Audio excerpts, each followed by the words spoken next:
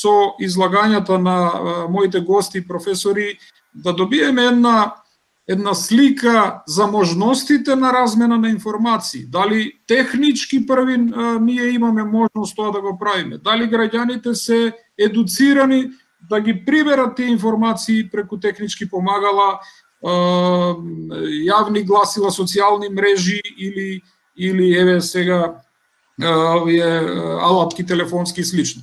Јас во овој во овој контекст ќе му дадам збор на професорот Сен Вакнин да ни се обрати, а после тоа ако имаме прашање врска со со овој дел, нели ќе го ќе ги ќе го прошириме коментарот.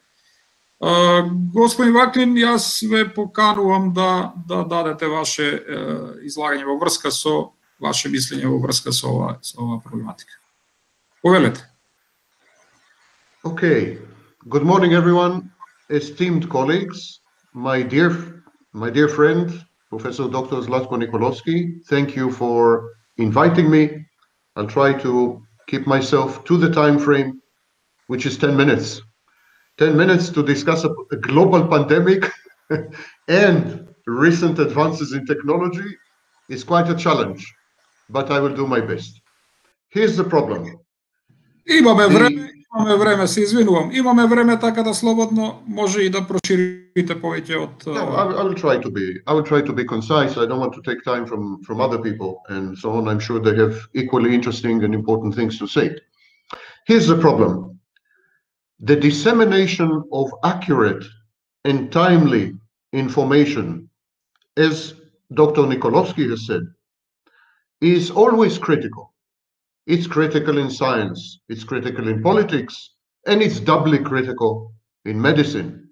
We have a lot of misinformation and fake information and fake news and conspiracy theories and unmitigated trashy nonsense with regards to every disease, not only COVID.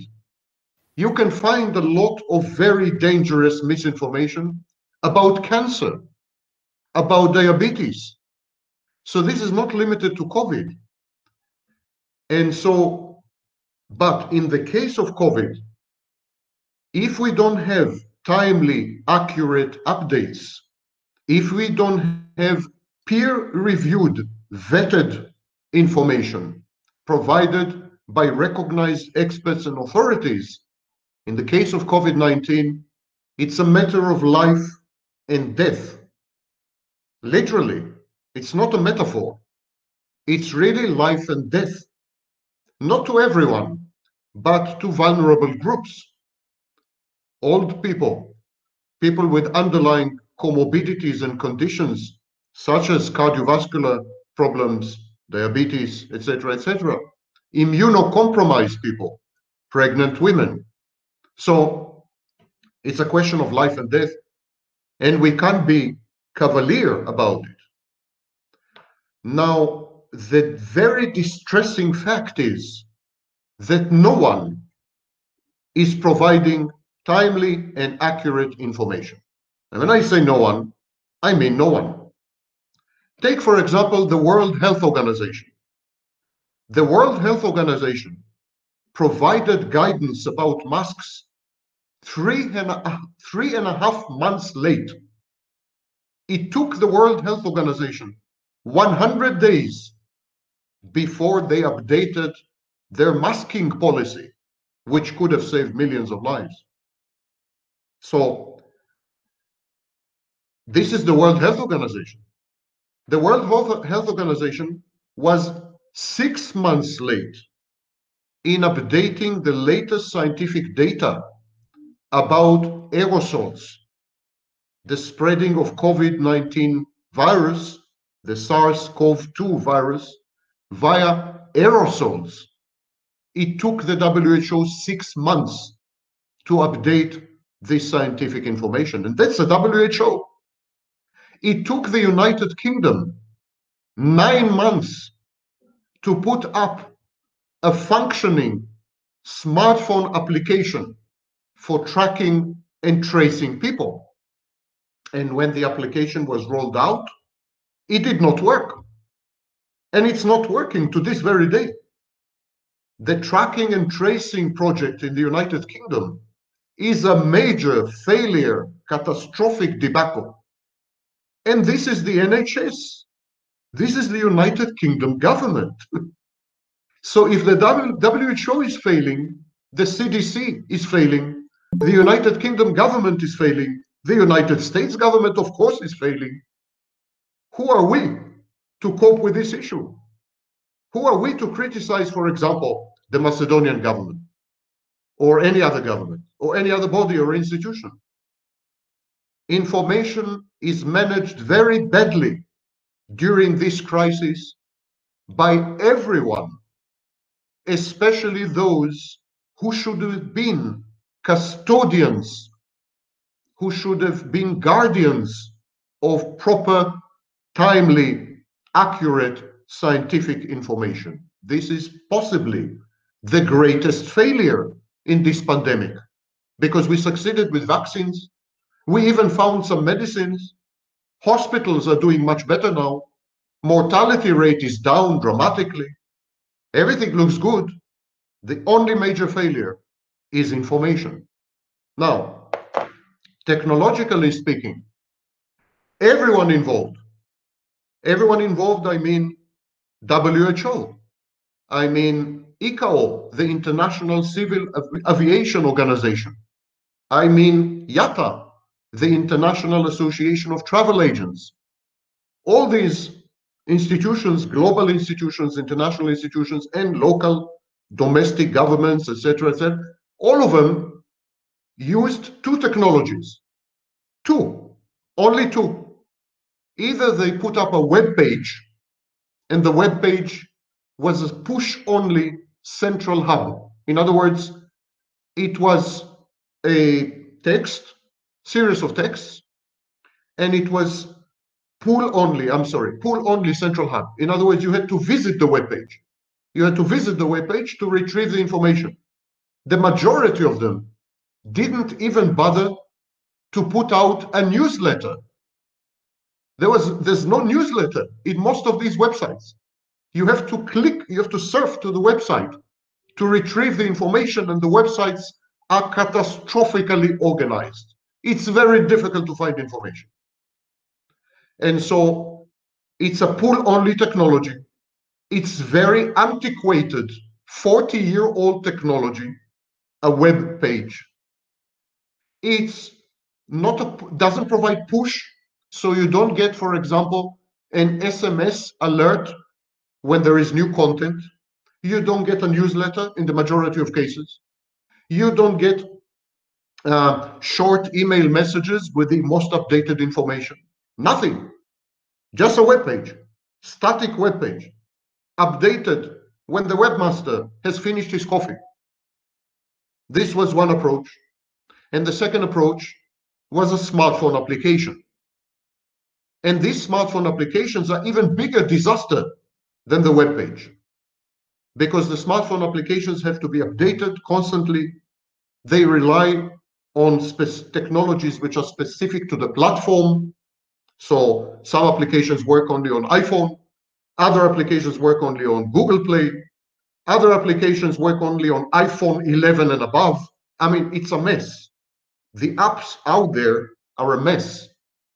And a tiny, tiny, tiny minority of these applications actually provide information. Most of these applications have to do with track and trace, tracing contacts of infected people. That's 99% of the applications. I it was very difficult for me to find even one application which provided timely information from multiple sources. I succeeded finally to find one. Very difficult. It took me hours to, to find that one. So, and then by the way, when I found it, um, Apple Store blocked it, Google Play blocked it because they were not listed with these platforms. So I had to change the settings on my smartphone in order to download it. Can you see an 80 year old Baba doing this? I can't. These apps are irrelevant, absolutely irrelevant. And indeed, they are not downloaded. The adoption rate of smartphone apps in this pandemic is one of the lowest, one of the lowest in the history of smartphone applications. People are not downloading COVID related applications, which is why the tracing, the contact tracing in Germany, in the United Kingdom, had failed when it was based on applications only. People did not download the applications. So, where am I driving at? It's very good to criticize. Do I have a solution? Okay, web pages are not updated. You have to surf. You don't get push notifications. You don't get, you know, any alerts. There are no newsletters. Apps are not working. People don't want to download them. The picture is clear. Is there any solution? I think actually that there is a solution, and I will come to it in a minute.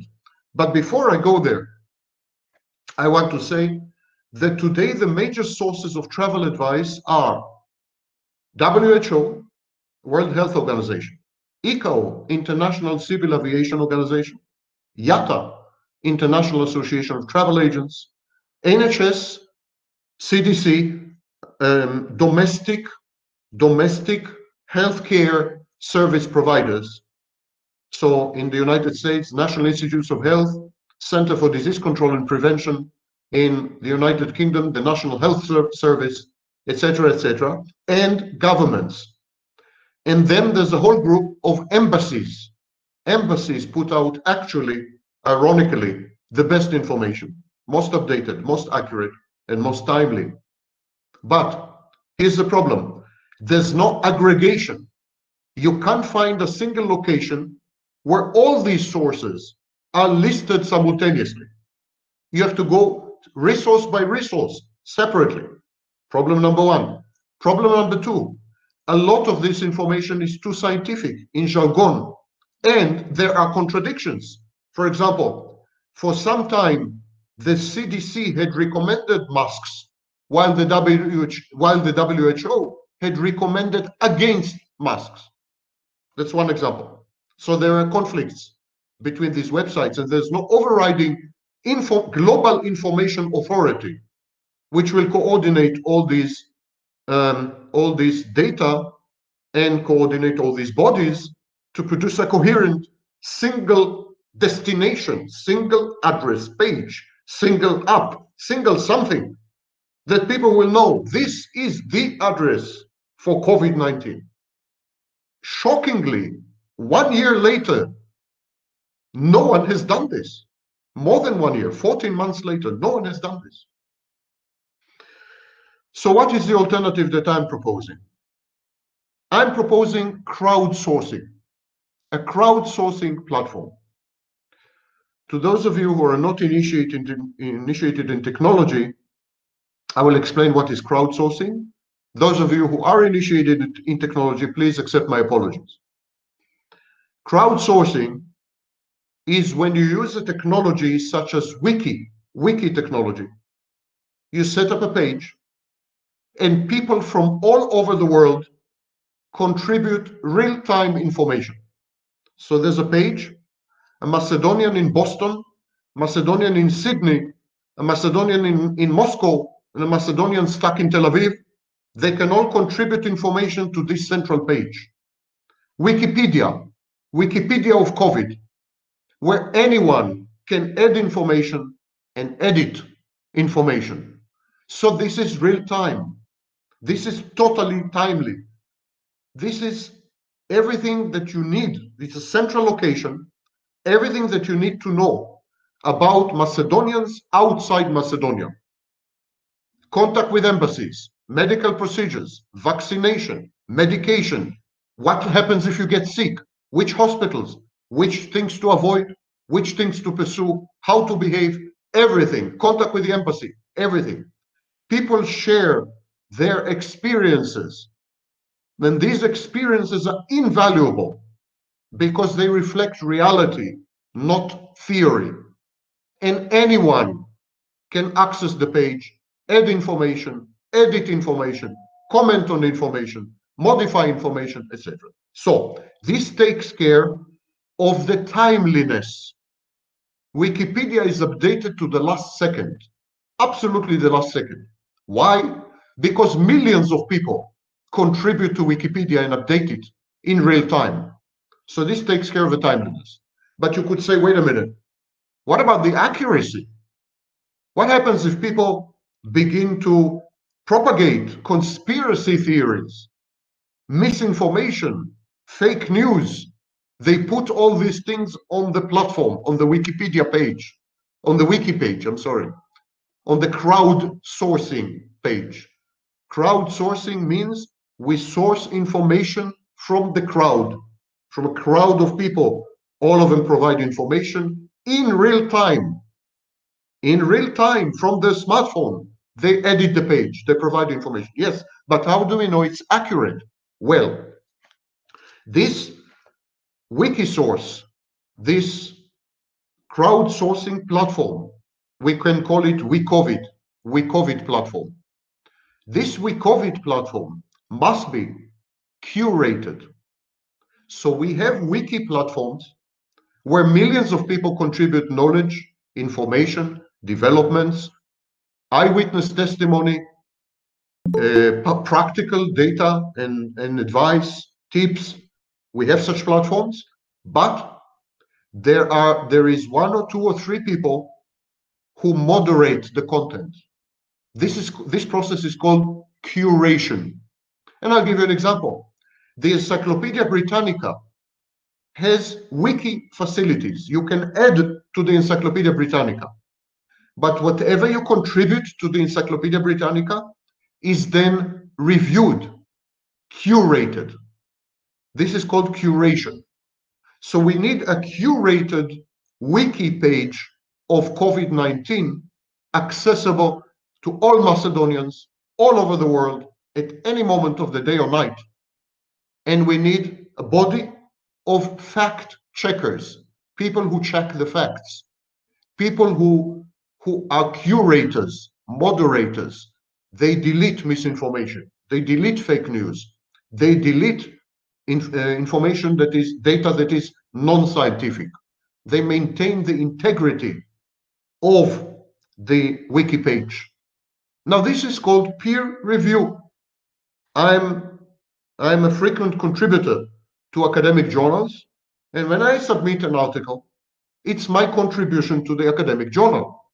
But then my colleagues from all over the world review the article, correct the article, ask me questions, and sometimes deny the article. They don't allow the article to be published because it's not sufficiently substantiated. It's the equivalent of fake news or misinformation or partial information.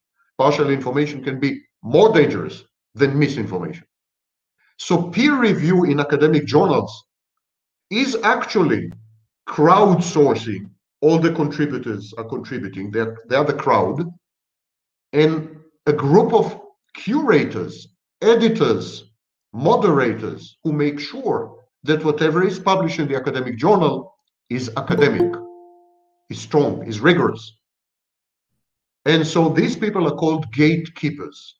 What I think the solution is a wiki page accessible to all, modifiable by all. Uh, anyone can edit, anyone can add, anyone can contribute. And then there's a process of peer review. Curators, gatekeepers make sure that whatever is published is not counterproductive, will not cause damage. Whatever is published is tried and true.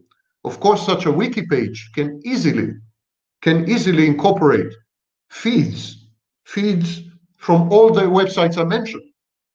So such a wiki page will have a segment dedicated to WHO, where the news will be updated constantly. Another segment, IATA, news updated constantly. Another segment, Embassy of the United States, news updated constantly. So it will create feeds of existing websites. It's extremely easy to set up, extremely easy.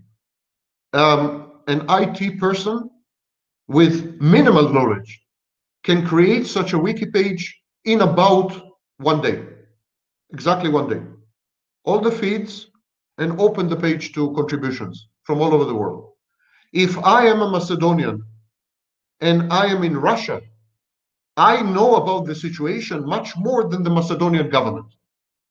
I am the Macedonian who is experiencing the Russian existence, what I can do in Russia, what I cannot do in Russia, where to obtain me medication, where how which hospital to go to, the the the rules of healthcare in Russia, everything.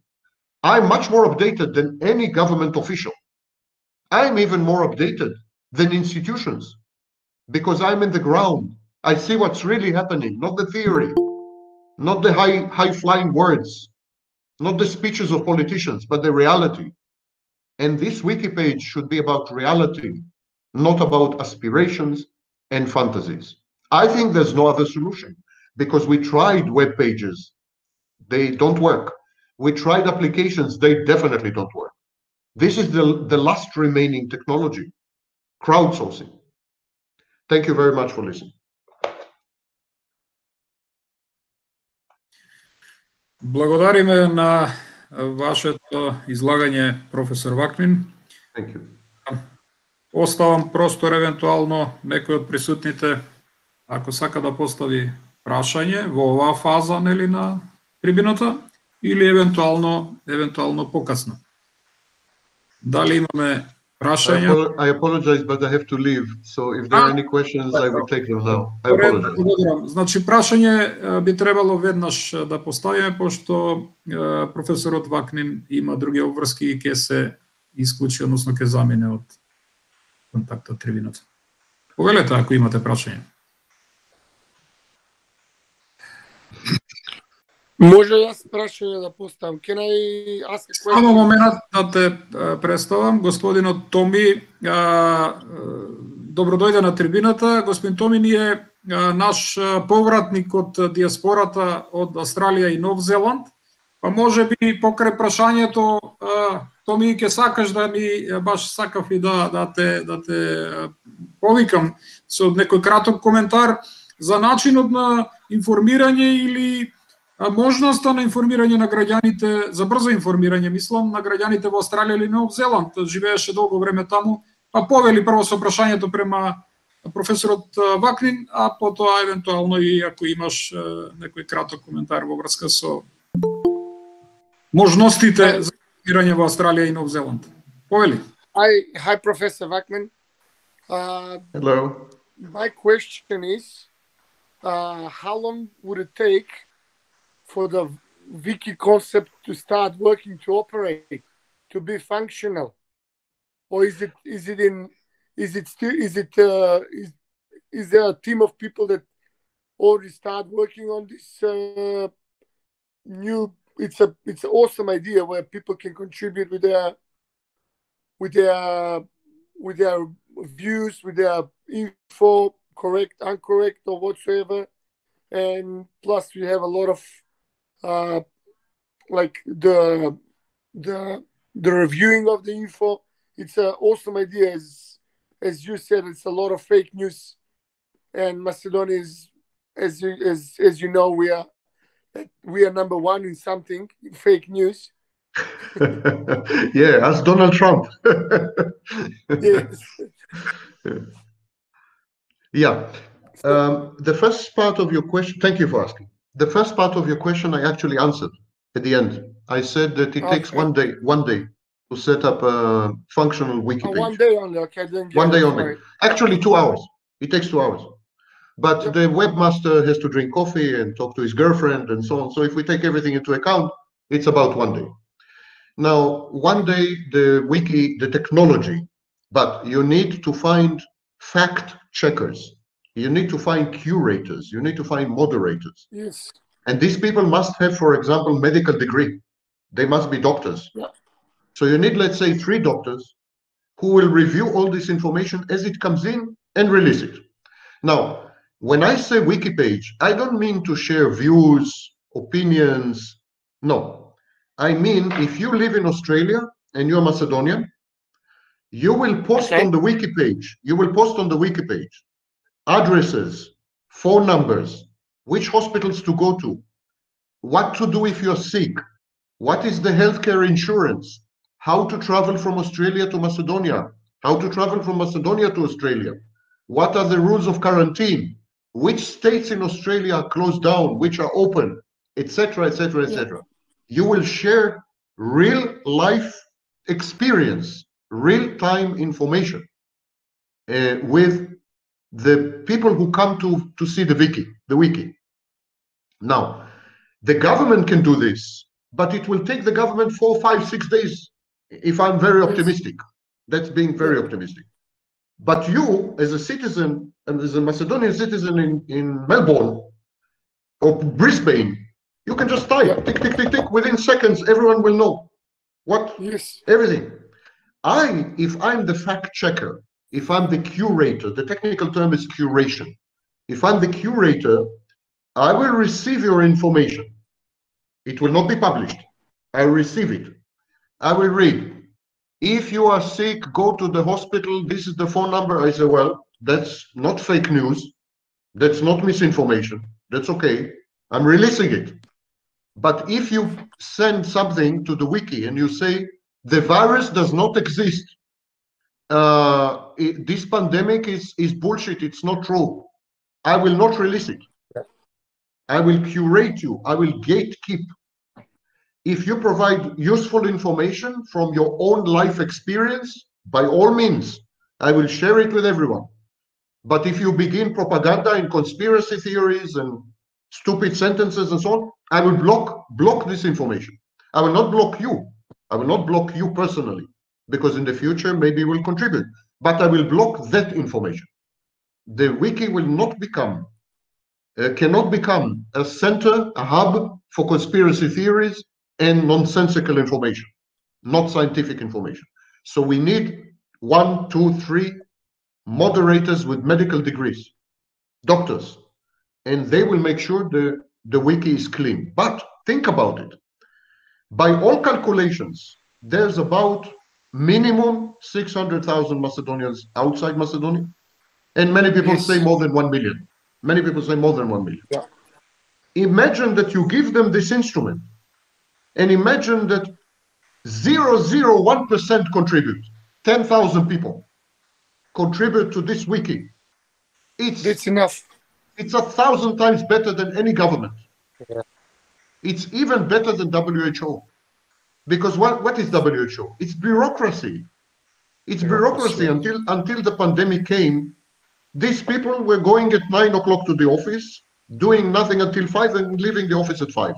I know the WHO intimately. Trust me. So when the pandemic struck, they started to activate a little. And you see it in the website you see this mentality, this slow, it's okay, there is time, we will think about it. Wait a minute, this is lunch now. You know, it's French, French area. This is lunch, sorry. Yeah. You know, you see this mentality. So that updates are weeks, sometimes months too late about masks, about aerosols. Months. It's not a joke. But a wiki page is updated mm, thousands of times a day. It's the latest of the latest. It's the only technology that will save us. I'm talking globally, not only Macedonians. The only technology that can save us. We cannot rely on institutions. We cannot rely on bureaucrats. We cannot, of course, rely on fake news and conspiracy theories. We need a centralized place with minimal peer review and oversight by medical doctors, but place which will provide up to the minute, up to the second information. What is happening in every corner of the world? So I, I'm a Macedonian. I come to this page. I want to travel to Germany. I scroll down. I click Germany, and I see 20 Macedonians contributed to this page. They tell me what I can do in Germany, what I cannot do in Germany, how to travel to Germany, what happens in the border control, what happens in the border control when I come, what I should produce, what documents I should bring with me, etc., etc. So I go to this section of Germany. By the time I finish reading these 20 Macedonian contributions, I'm fully updated. And I'm updated to the last second, not six weeks ago, six seconds ago. I see no other option. And I'm shocked, shocked the WHO didn't open such a wiki page. absolutely shocked because Wikipedia, for example, today, there are studies that show that Wikipedia is more accurate than Encyclopedia Britannica. There are recent studies, they tested the accuracy of Britannica and accuracy of Wikipedia. Wikipedia is more accurate. If you establish a wiki page and it's mildly moderated, it's more accurate than anything else.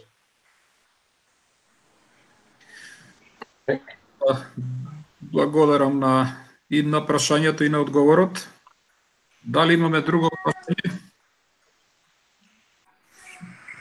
Контекстно само една реченица би додал колку е додека е професорот Сен тука колку ни се битни тие брзи информации на крајот дури малку и изфилтрирани, прочистени, вистински да не се лажни од нашите институции кои еве отворено ќе кажам Јас долги години сум работел во државна институција, сега од погледнато од граѓанскиот сектор приметував дека а, на веб страниците буквално се а, министрите а, цело време се фалат за некакви состаноци и слично правите информации за граѓаните не ги испорачуваат.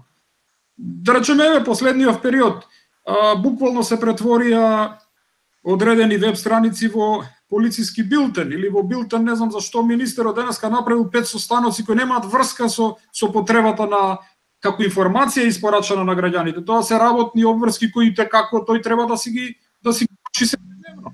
Значи, а, ова прашање, ова прашање и како треба се проширува особено после ова пандемија, затоа што не е само пандемијата, тука има вонредни состојби, еколошки катастрофи каде што а, на луѓето им се потребни потребни вакви брзи брзи информации. I want, I want one more sentence with your permission, uh, Dr. Nikolovsky.